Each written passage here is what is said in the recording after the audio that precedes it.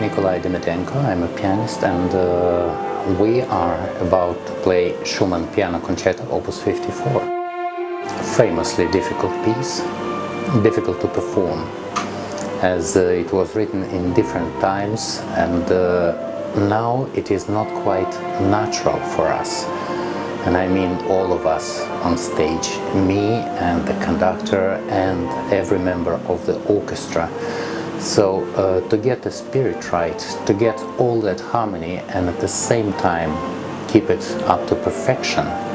And Schumann was notorious in writing very difficult things without warning.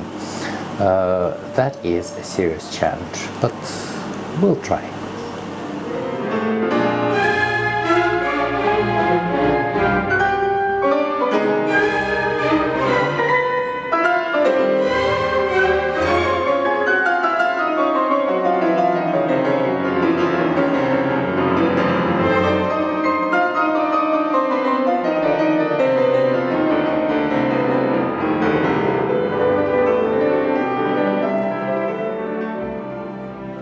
If there would be one, uh, that would be Bach.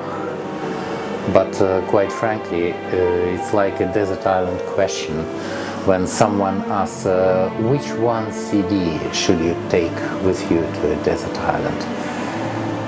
And I don't understand that question because we musicians, we have all that music in our mind in perfect stereo, perfect quality. How can you cut away a massive part of it. So all the composers I ever heard or played, they are with me, there is no question. And that's exactly the same thing.